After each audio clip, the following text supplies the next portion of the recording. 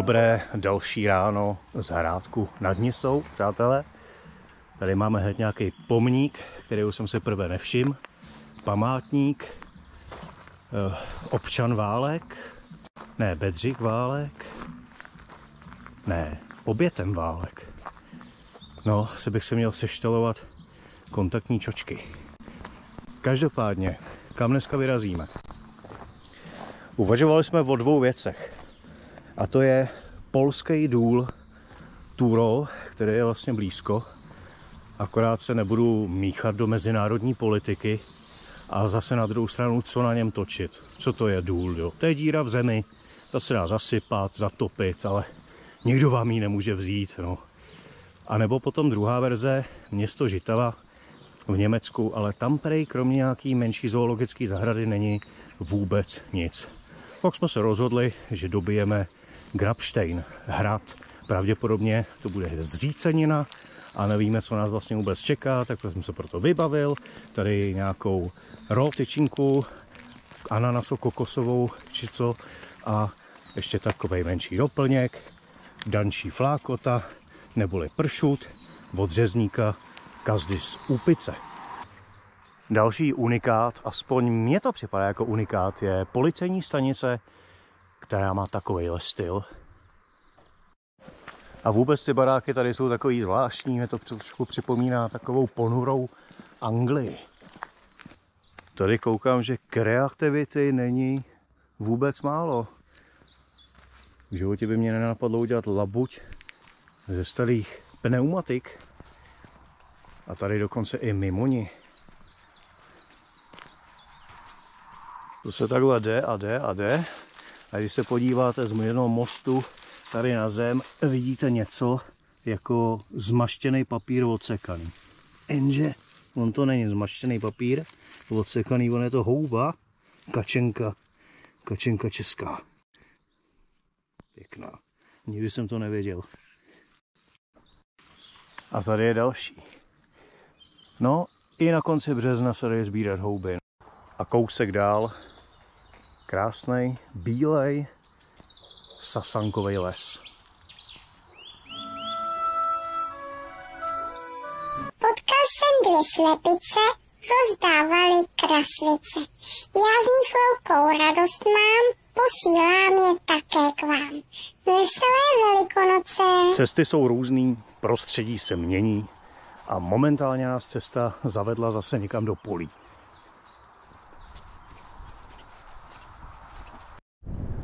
A z těch polí se vynořil hrad Grabstein, já se omlouvám. Není to zřícenina, vypadá to takhle z dálky, aspoň trošku zachovalé. Teď jak se tam dostat. Tady nic z toho nevypadá jako cesta, tamhle jdou nějaký koně, takže asi půjdeme za nima a bude to přímo. Hrad Grabstein se nachází u obce Grabstein. To je se ta obec končí, ale to jsem ani nevěděl, že existuje. Máme tady i návštěvní řád. A co vlastně je Grabstein zač, tak to nejspíš zjistím až na místě. Vysápali jsme se nahoru. Grabstein v trošku větším detailu. Jinak je v blízkosti vojenského prostoru, kde je přísný zákaz. A tady je dokonce i zákaz troubení.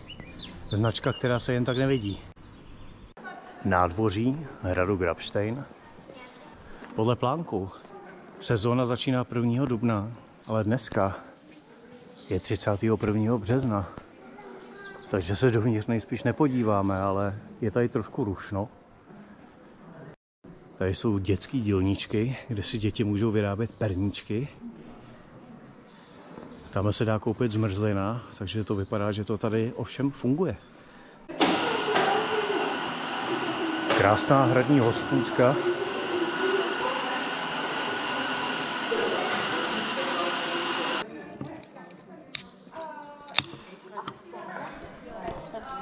Takže aspoň takhle na zdraví. Co říct o hradu? Budu velice stručný, takovej zevrubnej. 14. století výstavba patřilo to pánům z Donína, nedalekýho, potom to někdo koupil, nějaký německý název, nějakého jiný panství, 30 letá válka, samý násilí, násilí, války, samý problémy. A vlastně hrad byl zpřístupněný po 50 letech v roce 1992 a jeho osud je tak nějak, eh, řekl bych, ve vývoji. Současnost a okolí hradu je každopádně možná i zajímavější.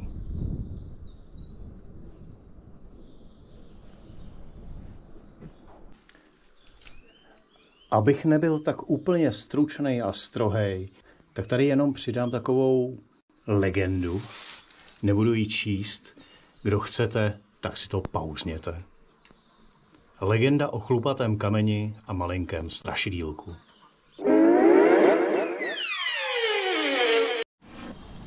Vidím žábu. Vidím žábu. Ne, to jsou dvě na sobě. Radši bych šel z té silnice pryč. Ahoj Čiči, ty se nebojíš auta, ne? Tyhle děti na štěrku. No nic, radši půjdu dál. Zpátky do polí. Na obzoru, v takovém trošku mlžném opadu, je v dálce vidět elektrárna, taková vypadá jak jaderná, ale bude to součástí toho polského dolu Turou, který nám vlastně odčerpává vodu spodní. Jsou s tím jakoby problémy, ale když se podívám zase tady na tuhle tu louži, tak asi spodní vody bude dost. A na příhraničních kopcích jsou elektrárny větrný, kterým já říkám ventilátory a nádherně nám tady hyzdějí krajinu. A nyní se přesvědčíme, je-li přítomen saharský písek. No je. Seškrábat to se sebe, tak mám regulérní oranžádu. Tak jsem si myslel, jak daleko jsem od Prahy a vůbec to není pravda. Rozloučení většinou dělám na nádraží, ale tady udělám takovou výjimku. Právě jsem na pláži před plážovým barem, který se jmenuje Panorama a naproti hraje nějaká živá country kapela. V těle těch barech se scházejí Poláci, Češi, Němci dohromady, takže to trojmezí tady vyloženě jako ty lidi tmelí.